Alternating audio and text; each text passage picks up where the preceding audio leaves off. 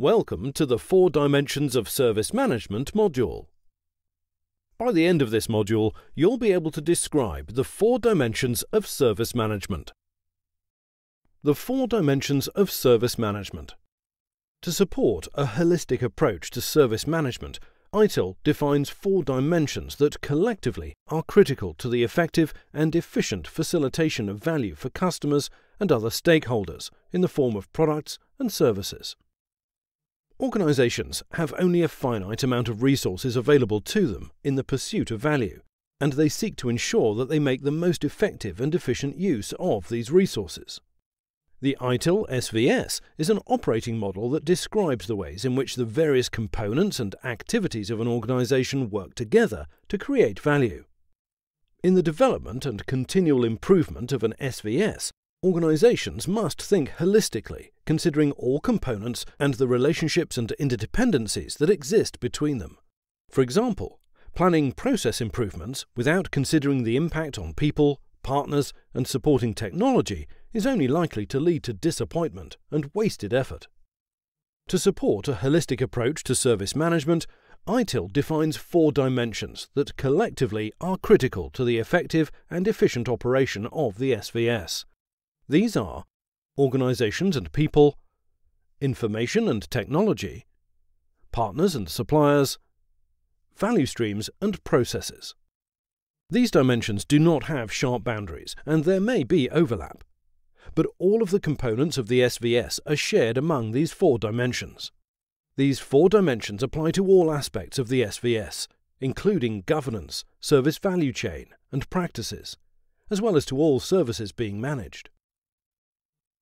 Students familiar with PESTLE analysis might recognize the list of factors that encircle the four dimensions.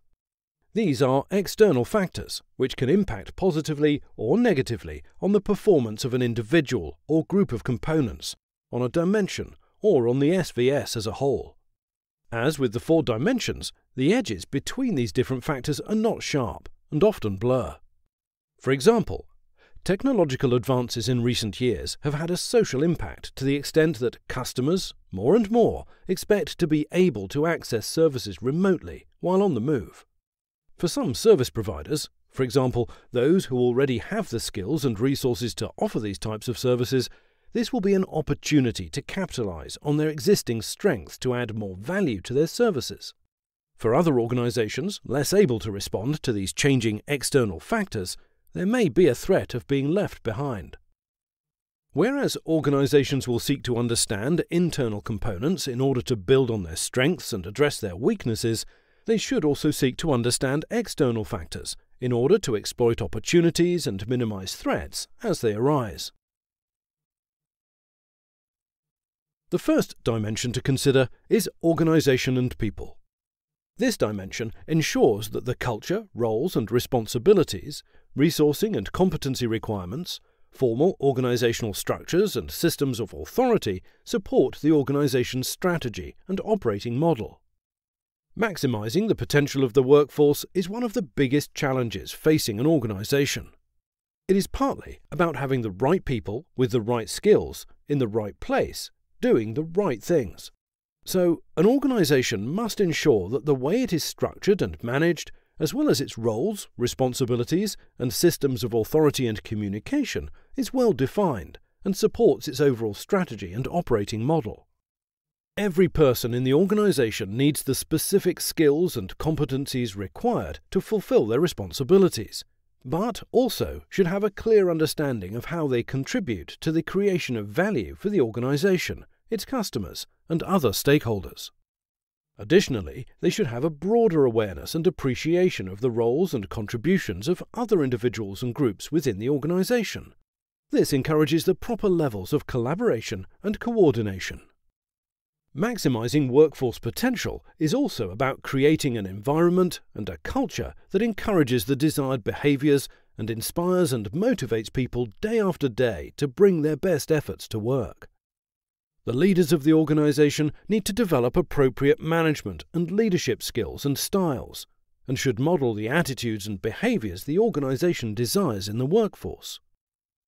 A culture of trust and transparency, communication and collaboration, and a focus on value and continual improvement will help any organisation which strives to achieve and maintain high performance while responding to ever changing internal and external drivers. Adopting the ITIL guiding principles is a good starting point for establishing a healthy organisational culture. The second dimension of service management is information and technology. As with the other three dimensions, information and technology applies both to service management and to the services being managed. There is a need to identify and manage each of the individual technical components, as well as to be able to visualize and understand the infrastructure as a complex whole with its myriad of connections and dependencies, inputs and outputs. Examples of information and technologies which support service management include workflow management systems. These are tools which can streamline and automate common business processes, such as incident management or change management. Inventory systems. Tools that allow an organization to track and manage physical components, such as hardware and software. Knowledge bases. Tools that support the capture, storage, and sharing of valuable information and knowledge, such as a known error database. Examples of information and technologies which support the services themselves include IT architecture, the many layers of hardware and software that create the infrastructure across which the service is delivered, applications, the program or group of programs that provide the functionality required by the user to achieve their outcomes, databases, the repositories where data is held in a secure, organized, and usable way. In the context of an IT service, the information created and used in the course of service consumption is the primary means of value enablement. For each service, the service provider should consider both the information requirements of the service, for example, confidentiality, retention, and disposal, and the information and knowledge needed to be able to manage and deliver the service. Information often flows through an organization, passing from one service to another. Service providers need to understand the information architecture and data flows of the various services from this broader perspective in order to continually optimize it. On top of all this, organizations need to consider the requirements to comply with any internal policies or external standards or regulations, such as the European Union's General Data Protection Regulations, GDPR. Various factors may influence an organization's choices in the technologies it uses. For example, some organizations may seek advantages in being at the cutting edge of technological advances. Other organizations may be constrained by the requirements of clients or regulators. Other considerations include questions such as Does this technology align with the strategy of the organization? Is it compatible with the current architecture of the organization and its customers? Will it continue to be viable for the foreseeable future? Does the organization have the skills to support the technology? Does the technology introduce new risks or constraints to the organization? The third dimension of service management is partners and suppliers. This dimension encompasses an organization's relationships with other organizations that are involved in the design, development, deployment, delivery, support, and or continual improvement of services. In business today, it would be rare indeed to find an organization that doesn't depend to some extent on product or services provided by other organizations. This dimension is concerned with partners and suppliers who are involved in the activities of the service value system. As discussed earlier in the course, a single organization may be involved in many different relationships, both as a supplier and a consumer. These relationships can vary hugely in terms of their formality and the degree of integration required of the two organizations. The table shown on screen offers three examples but these are intended only to serve as an illustration of what is really a wide spectrum of possibilities. In the example of goods supply relationship, there is little flexibility or close working required. The supplier delivers product under contract that the supplier uses for its own purposes. Typically, at this level of cooperation, the service provider seeks value by supplying the same product to multiple consumers. The consumer in this relationship typically sees value in a reliable, timely, and cost effective supply. Relationships at the other end of the spectrum require both parties to be much more flexible and responsive in their approach and work together in a more close and integrated way in order to identify and co create value. One of the challenges an organization faces when it uses multiple suppliers is establishing a proper spirit of collaboration and cooperation. Many organizations are starting to favor a service integration and management approach. This involves creating a service integrator role which sits above all suppliers and ensures that service relationships are properly coordinated. The service integrator role itself can be internally or externally sourced but proper controls need to be put in place to ensure it operates with fairness, impartiality, and integrity.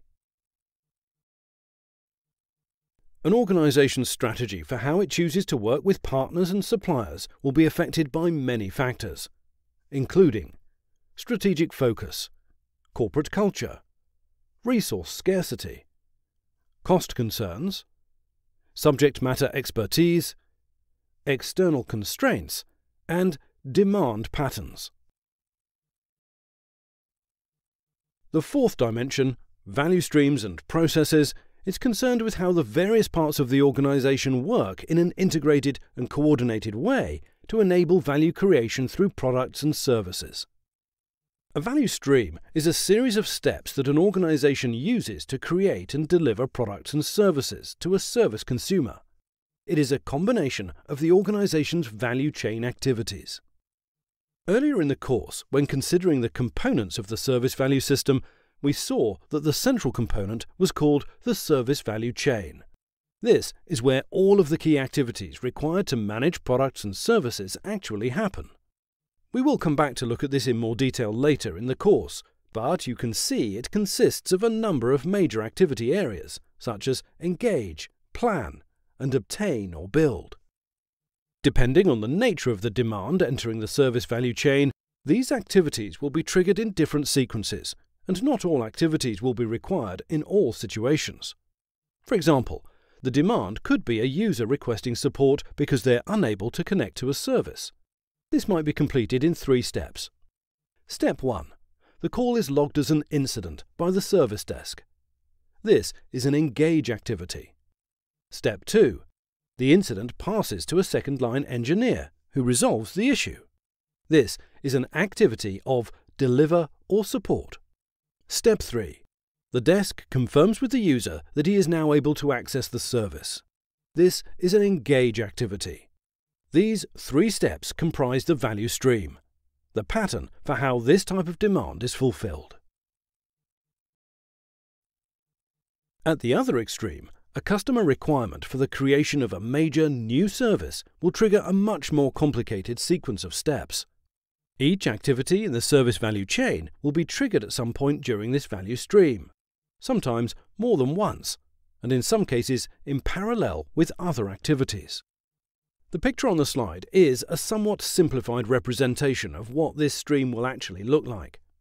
In practice, it is likely to be far more complex and involve many more steps.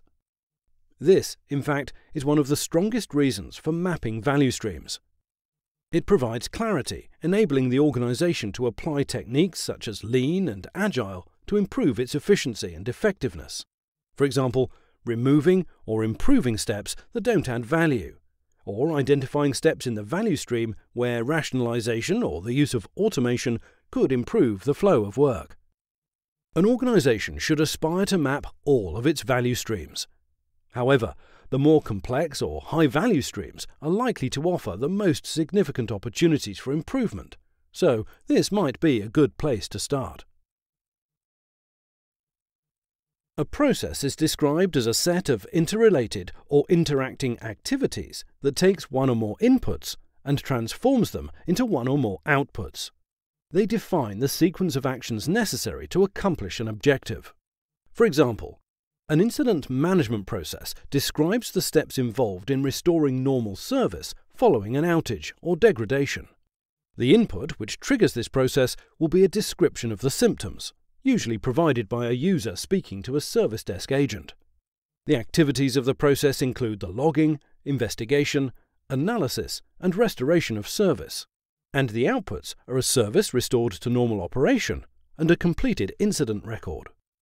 Detailed instructions and guidance for each step is normally documented in supporting procedures and work instructions.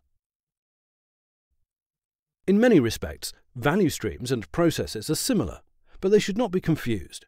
They provide different perspectives and accomplish different things. The value stream is the entire path through the service value chain to deliver product or service to the customer.